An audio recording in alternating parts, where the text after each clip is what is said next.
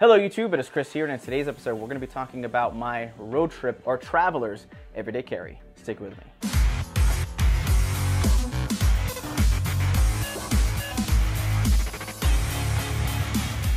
Welcome back everybody and thank you for sticking with me. As you guys heard, we're gonna be talking about my travelers or road trip everyday carry because currently right now we are over a thousand miles away from our home in South Texas. We're actually here in Utah for now. We're actually stopped in at Blade Ops. They were awesome enough to let us come inside, do some shopping and film with you guys today. So comparatively to a lot of other EDCs you've seen before, most of the gear here is actually new. A lot of new things that I've never been able to show off before and I'm really excited to bring it to you guys. So right here. This is my Viking Whetstone pendant. I carry this on my 30-day survival challenge. This has a ferro rod, has a nice little custom mod to it, has a whetstone for sharpening, and it also has 20 yards of braided line. This is a little spool tool holder from Grim Survival. Next up, we're gonna be talking about what goes on my wrist. So right here, we've got my G-Shock. I've had this one for a very, very long time. I love this G-Shock to death. I because it's sub 70 bucks and when I go on road trips I actually don't like to bring my more expensive one with me because if it gets damaged or broken I only damage one of the cheaper ones. To further its functionality I have my compass, my button compass from Wazoo Survival Gear and then on the other side I am rocking my survival bracelet from Outdoor Element. This is the this is actually the Woolly Mammoth. It's a version of the Kodiak. It has a very large ferro rod right here with a huge scraper. I like the fact that they decided to go a little crazy with the buckle on this thing and make sure that it's a really big ferro rod. Most ferro rods that are on buckles are just really tiny. They're kind of annoying. I don't like them too much. But then I have a ton of fire tinder right here. So if I need to rock that thing, it's good to go. So we're gonna actually jump into the tools because that's what most of you guys came for. We're gonna talk about my knives and my multi-tools. So the multi-tool is actually the Union by Toller Tools. This is a pre-production model. And this one actually comes in two pieces, which is pretty freaking sweet. So I'm gonna go ahead and put this bad boy back together for you. And while we're talking, I love this multi-tool because it gives me a lot of really freaking sweet options in a mind-numbingly convenient package.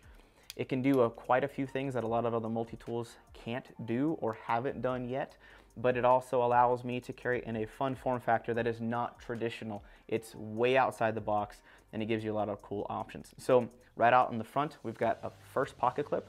We have a very large knife. This knife is humongous. This is easily a full three and a half inch knife. This thing is a monster. It's extremely sharp out of the box. And for everyday cutting, if you just need a knife and you don't feel like carrying other folders or fixed blades with you, this will be enough. This is one of the first times I've actually said, yeah, that's enough. Then we have the multi-tool, which you saw in two parts earlier. So that actually has a wrench set here, so you can take the bit extender and standard bits, lock this bad boy in there, and you gotta work on some tools. You are good to go. It actually has a retention pin in there. You get full center drive level needs, but if you actually need to get into funky little places, there are driver bit holders here, and there is a, another one on this multi-tool that we'll get to in a second because I gotta find it, because this thing has so many freaking spots for stuff. So the next thing that I really enjoy about this is this fully extends. So if I need to get more of a leverage while I'm tightening stuff down, this is offering another wrench right here, which is sporting the Omni Lock. This will is universally sizable to a certain point. But because you get all this extra leverage, you can get a full-size tool's worth of leverage, which is something I've never been able to do before. But while I'm on the go, when I'm traveling, I have my tripods and everything with me when I'm doing my little outdoor adventures and filming those. And the need to be able to tighten stuff and fix things on the go, I'll possibly be working on any of my recreational tools like bikes and stuff.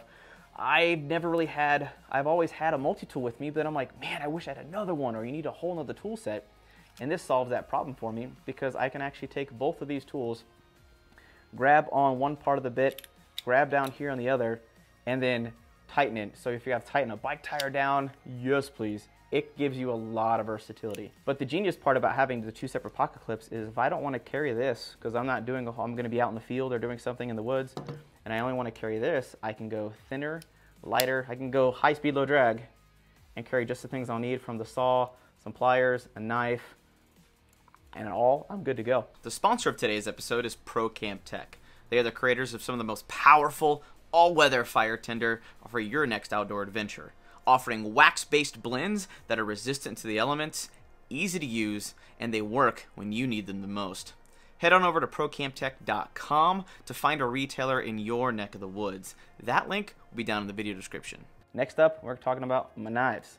So this one is my full-size knife. This is my extra large Kalashnikov side opening auto. I actually got this from Blade Ops. I buy a lot of the uh, Kalashnikovs. It's basically the only place to get them because they're exclusive to here.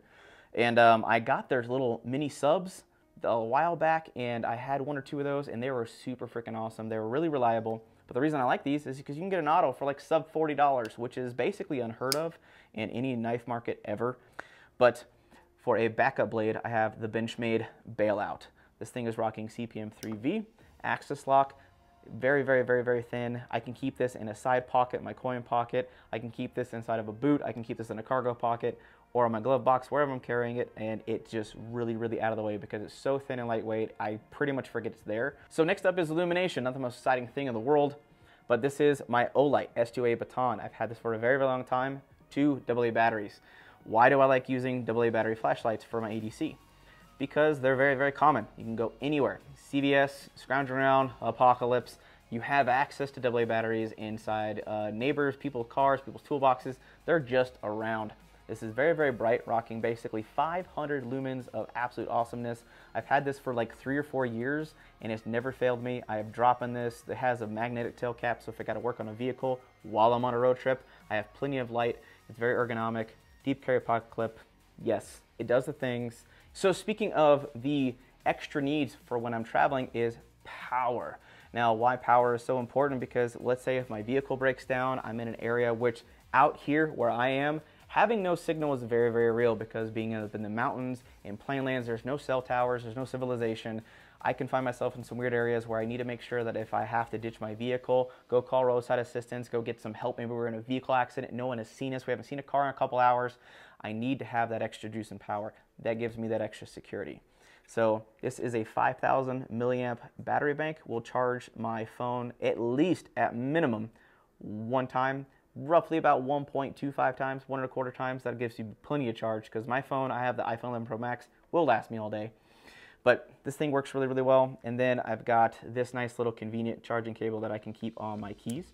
This will do USB-C, it will do lightning, micro USB, does all the things. This is by a company called InCharge. This is from a most recent Kickstarter.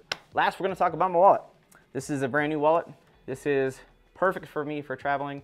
This is the Dango Products Maverick M1 Bifold. It's a chunky monkey, not a minimalist. However, it does a lot of cool things that I like. It's got a whole bunch of little multi-tools and little gizmos and jack gadgets in there.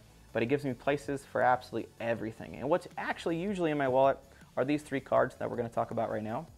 These all come from Grim Survival from their fishing line because I knew I was coming to the west coast up into the mountains. Fishing and having access to water are not going to be difficult. So this is their line card. This actually gives me, I think, 10 to 15 yards, 12 yards of high strength braided fishing line. So if I need to do some fishing for convenience or for a survival situation, I've got that ready to go in my pocket. It's the size of a credit card. It's freaking amazing. Grim Survival, if you guys don't know who they are, they think of absolutely everything. Then we have some artificial lures which in Texas don't work very well because most of the stuff are like catfish and stuff and they don't really don't go for that. They want to smell the smells, but like trout, salmon, uh, you know, carpy and everything, they'll go for this. All of my swivels and hooks, treble hooks and all that stuff, pop out card. Yeah, all the hooks right here. Now you can actually buy this as a kit. It does a really, really good job. It fits right in there, right out of the way, boom. And I still have plenty of stuff for my IDs and my cards, my debit cards and everything else. We have the RFID blocking shield right here where I keep my debit card IDs and everything. And then I have the clip for all my cash. I have more cash than normal. Um, I like to keep a lot of my funds in cash. I do not keep all of my cash on my wallet. I do keep cash in other locations for safety if you're traveling learn tips and tricks and survival hacks to keep money in different places on your body. So if you ever get mugged or robbed and you got to give up your wallet, you don't lose everything. You don't want to lose all your IDs and documents and things like that. But that just about is it for my everyday carry. And if you guys have a specific tool or something that I don't cover that you specifically bring on your travel or road trip EDCs, I definitely want you guys to sound off in the comments and let us know exactly what you bring that's different and what you think is more important than some of the stuff that I bring and why.